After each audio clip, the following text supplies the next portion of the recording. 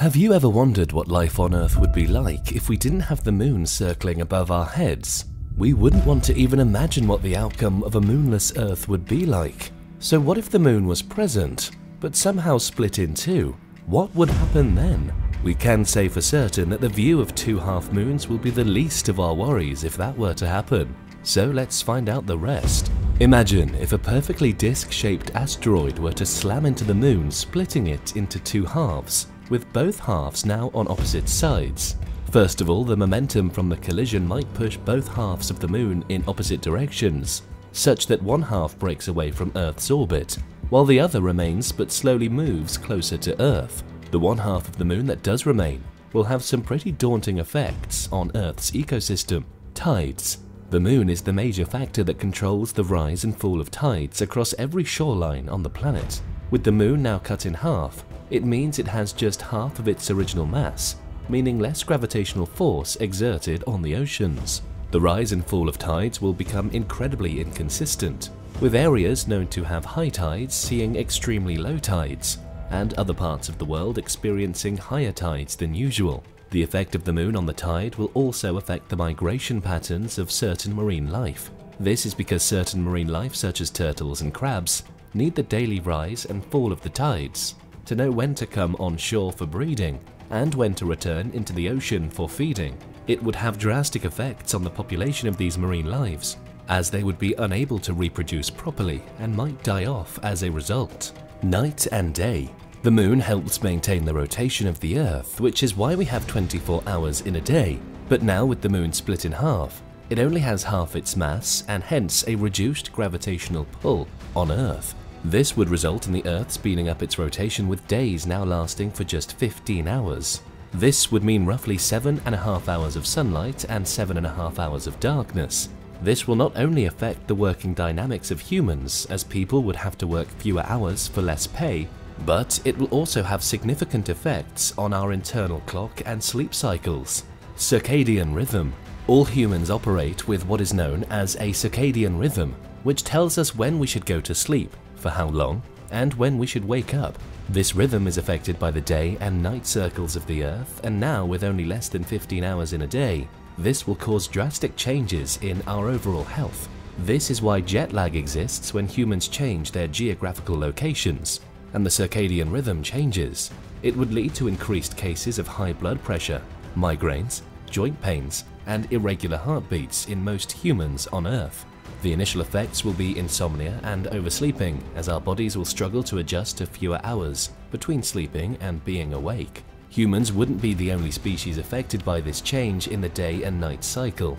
Animals would be greatly affected as well. Most nocturnal animals need the moon to see in the dark to hunt for prey and feed, with the brightness of the moon now drastically reduced, most of these nocturnal animals would starve, being unable to hunt. Most species would see a drastic population reduction and some may even go extinct entirely, unless they quickly adapt to hunting during the short hours of the day. Wolves would howl at the moon more frequently, and their hunting rhythms would turn upside down. It would take both humans and animals a few thousand years to adapt to the dimness of the moon, as our eyes would need to become slightly bigger to absorb more light and see properly at night. The seasons. The moon's gravity affects the Earth's tilt and rotation, and as such plays a significant role in the seasons and weather patterns on the planet. With the moon now at half its mass, its gravitational effects will turn Earth's climate into an unpredictable prehistoric era. Warm tropical areas will experience heavy snowfalls in the middle of spring, and deserts will see unprecedented levels of rainfall. Temperatures around the globe will become drastically unstable, High temperatures will be recorded at the poles as the Earth's axis tilts, and freezing temperatures will be experienced along the equator. Small storms will spin out of control into typhoons and Category 5 hurricanes. Low wind areas will experience frequent tornadoes, and the unstable gravity of the moon will cause tsunamis that will sweep into coastal cities. Winters become colder and summers get hotter as extreme weather becomes the new normal. Magnetic field the unstable nature of Earth's tilt and rotation will affect the planet's magnetic fields in more ways than one. First, compasses won't work and would need to be recalibrated to find true north all over again. Navigation systems will be of no help as most, if not all our satellites have already been destroyed, by the debris from the moon's separation. Birds and other migratory species wouldn't be able to fly to wait out winter as their inner compass would be unreliable with the change in the Earth's rotations. This would cause most of these species to die out from not knowing when to migrate and when to breed in time for summer. This new moon would knock down ecosystems around the world, flooding cities with millions of birds that have no idea when and where to migrate. Beaches would become dry as low tides pulled the water back. Extreme weather phenomena would be a daily occurrence, and humans would be thrown into societal chaos with strange sleep cycles. But we would be able to adapt to all these in a few decades or centuries, and life will carry on as we persevere through the changes in our planet. But the worst is yet to come distance from Earth. With the moon split into two halves, there are a few possible outcomes as to how these two half moons will behave in relation to Earth. One possibility is that both halves could still be close enough that they would continue to rotate and orbit each other until they eventually collide and fuse in several million years.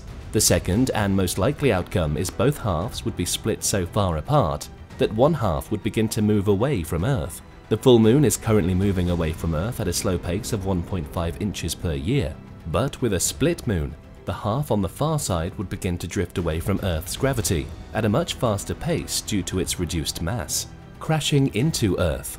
While life on Earth struggles to adjust to the new normal, a larger danger looms ahead as the new half moon is set on a collision course with Earth. Initially, the whole moon was in a somewhat stable orbit with Earth moving ever so slowly away from our planet. But now at half its original size and with the momentum from the collision that caused the split, the second half of the moon still orbiting the planet would be headed towards Earth. This may take a few months or even years depending on the level of energy and momentum the moon received, but it is surely heading for Earth. While the moon moves closer to Earth, it causes a series of devastating events. The moon's gravity would cause mega tsunamis around the world, pushing oceans into coastal cities only for the water to recess as the moon passes, but these tsunamis will return in 12 hours as the moon completes its rotation. That's not all. The moon's gravity would counter Earth's core like two magnets pushing against each other.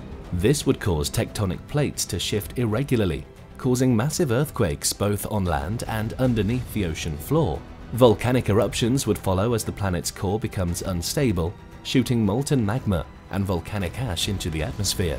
But don't be alarmed, the moon wouldn't crash on Earth like the asteroid that wiped out the dinosaurs. Granted, it would be a thousand times more devastating in its effect. Our planet would be protected by what is known as the Roche limit, the Roche limit is the minimum distance at which a satellite, like the Moon, can approach its primary body before being torn apart by tidal forces. This region is located approximately 11,000 miles above Earth, where the gravity of Earth becomes greater than the tidal forces holding the Moon together. In essence, the half-moon would be crushed by this invisible gravitational barrier, causing it to break apart into a million pieces. This event seems to stop the catastrophic collision of the Moon and Earth, but it isn't any better either. The millions of moon debris now circling in orbit will form a ring around our planet, but not for long. Eventually, these millions of moon rocks will rain down on Earth, burning up in the atmosphere, before crashing into cities, forests, and oceans. The devastation would destroy civilization as we know it, and the burning atmosphere would deplete our planet of oxygen, making Earth almost uninhabitable. It would take hundreds or maybe even thousands of years for those that survive to adapt to the new order, but in some distant future, life will repopulate the Earth, but it'll be much different than what we see today. So, however nice it would look to have two half moons in the night sky, the consequences that follow are just not worth the aesthetics of it all.